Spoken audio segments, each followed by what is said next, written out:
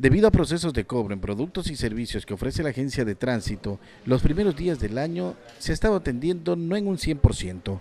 Desde esta semana la situación se normalizó. A realizar cualquier tipo de proceso respecto a matriculación vehicular, ya que todos los servicios actualmente están operativos al 100%. En el nuevo tarifario correspondiente al proceso de matriculación en las nuevas tasas anuales que la agencia cobra, no se evidencia ningún incremento, pero existe otros impuestos que suman el valor de la matrícula que como usuario debe cancelar. Es decir, que no existe un incremento frente al tarifario del año 2014.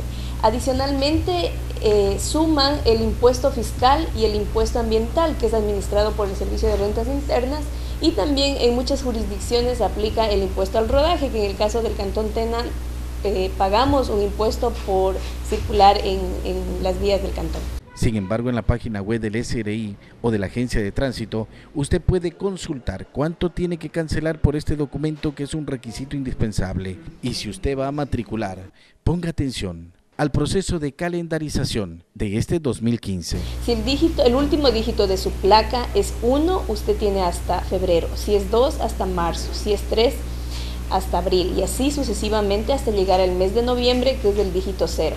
En el mes de diciembre pueden también matricular todos los vehículos de cualquier dígito, pero ya incurre en una multa de 50 dólares. La atención en esta institución de Estado ha cambiado para bien. Buena, buena para qué decir. Si me están atendiendo eso, me dijo que venga ahora la señorita para... No, no, hasta aquí no.